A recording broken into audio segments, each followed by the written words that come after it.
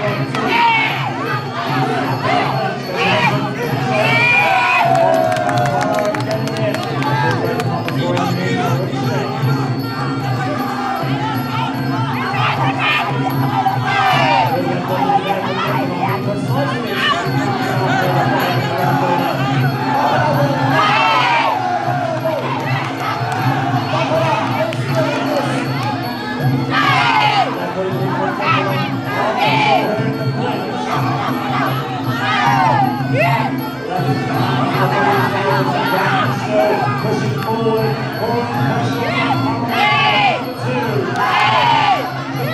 subscribe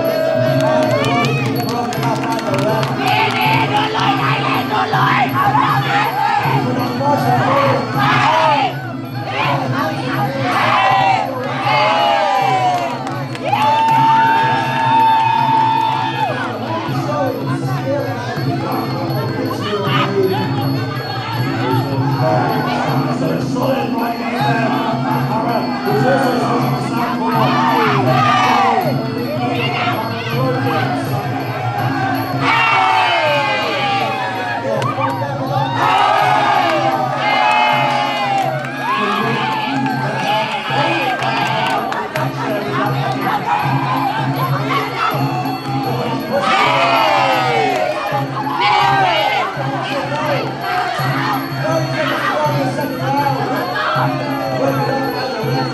Yeah.